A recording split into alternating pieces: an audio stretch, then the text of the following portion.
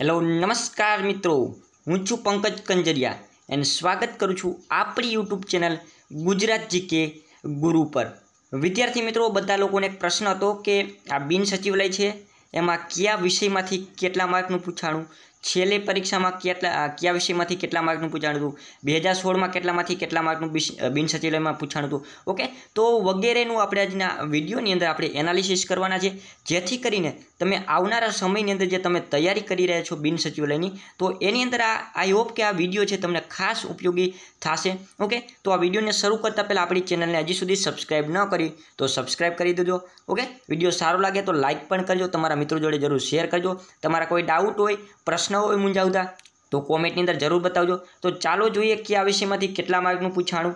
Okay તમારા સમક્ષ મેં એક અહીંયા ચાર્ટ રાખ્યો છે કે બિન સચિવાલયની છેલ્લે ક્યારે ક્યારે એક્ઝામ લેવાની? તો કે બે હજાર ઓગણીસમાં એક એક્ઝામ લેવાની, બે હજાર સોળમાં લેવાની અને બે હજાર ચૌદની અંદર લેવાની. ઓકે તો એનું આપણે વિશ્લેષણ કરીએ. બધા જ લોકોને ખ્યાલ છે કે આનું શું સિલેબસ છે.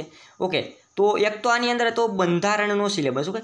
બંધારણ અને જાહેર વહીવટ. ઓકે, તો બે હજાર ઓગણીસની અંદર જે બંધારણ છે તે સુડતાલીસ માર્કનું ટોટલ પૂછ્યું હતું.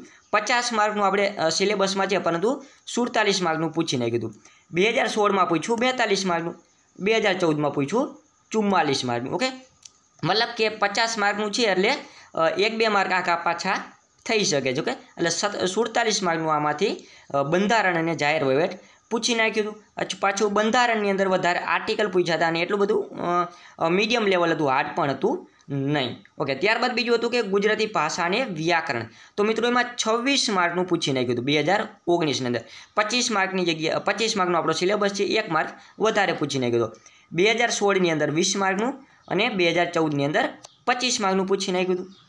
ત્યારબાદ છે ઇંગ્લિશ ઓકે ઇંગ્લિશ કેમ કે આ વિષયની અંદર આપણા ગુજરાતના તમામ લોકોને મોટાભાગના લોકોને આમાં તકલીફ રહેતી હોય છે, ઓકે? તો બે હજાર ઓગણીસમાં પચીસ માર્કનું હતું, એમાં ચોવીસ માર્કનું ઇંગ્લિશ પૂછી નાખ્યું હતું કે બે હજાર સોળમાં પચીસ માર્ક અને બે હજાર ચૌદની અંદર છવ્વીસ માર્કનું પૂછ્યું હતું, ઓકે? ત્યારબાદ છે કમ્પ્યુટર, મિત્રો, કમ્પ્યુટર છે, ઓકે? તો આ બે હજાર વીસની ઓગણીસની અંદર જે છેલ્લું પેપર હતું કમ્પ્યુટર તો થોડુંક એ હાર્ડ લેવલનું હતું. કમ્પ્યુટર અંદર, આની અંદર જે પૂછ્યું હતું, થોડુંક હાર્ડ લેવલનું હતું.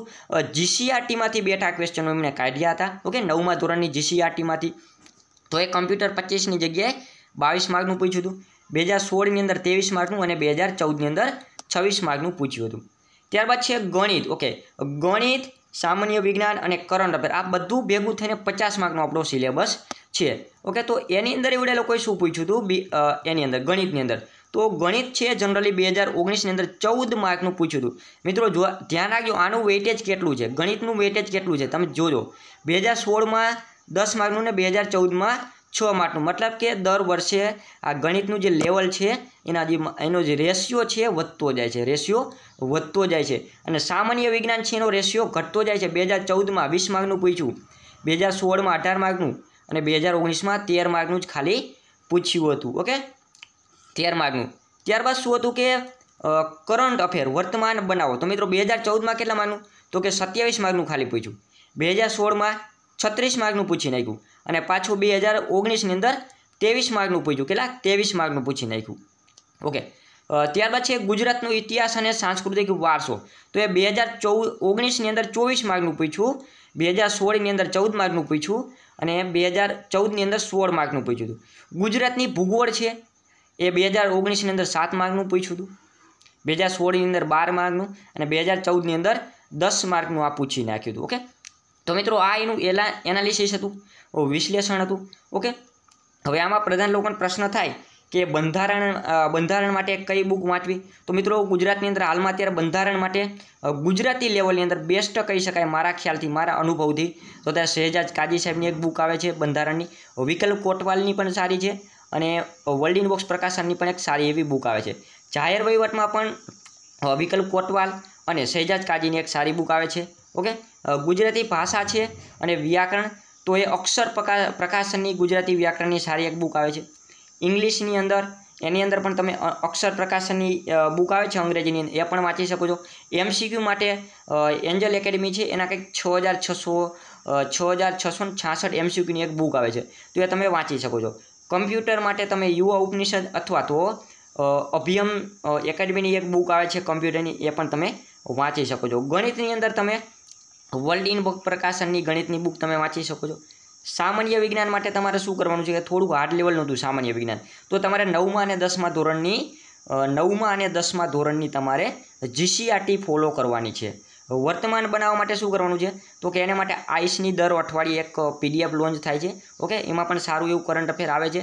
પ્લસ તમે કોઈ પણ એક લેટેસ્ટ ફેક્શન જનરલ નોલેજ અથવા તો વર્લ્ડ ઇનબોક્સ પ્રકાશનનું જે મંથલી મેગેઝિન આવે છે, એ પણ વાંચી શકો છો. અને સાથે સાથે ડેઇલી સાથે સાથે ડેઇલી એક ન્યૂઝપેપર પણ વાંચી શકો છો. બીજું છે, ગુજરાતનું ઇતિહાસ અને સાંસ્કૃતિક વારસો કે ગુજરાતના ઇતિહાસ માટે તમે ઈશ્વર પાડવી સાહેબની એક સારી એવી બુક છે, ઇતિહાસ માટે એ પણ વાંચી શકો છો. અને સાંસ્કૃતિક વારસા માટે વર્લ્ડ ઇન પ્રકાશનની એક સારી એવી બુક આવે છે, ઓકે? ગુજરાતનો ઇતિહાસ અને સાંસ્કૃતિક વારસો છે, આપણે એના સ્ટેપ બાય સ્ટેપ આખું હું લેક્ચર સિરીઝ આખી ચાલુ કરીશ આપણી ચેનલની અંદર, ઓકે?